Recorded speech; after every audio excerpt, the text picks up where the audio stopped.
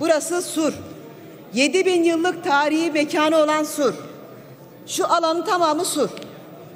Ve burada bakın şu alanın yıkılan, burası tamamen çoraklaşan, o küçücük dar küçeri olan Sur'un mahallelerinin olduğu yere baktığınızda kocaman kocaman bulvarlara dönüştü. Bakın.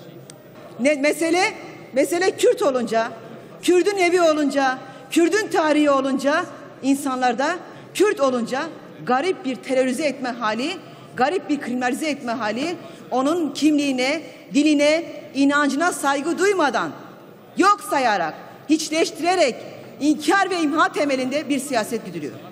Buradaki 7000 yıl boyunca 40 tane medeniyet gelmiş. Her medeniyet arkasından bir tarih bırakmış. Kimi cami yapmış, kimi kilise yapmış, havralar oluşturulmuş.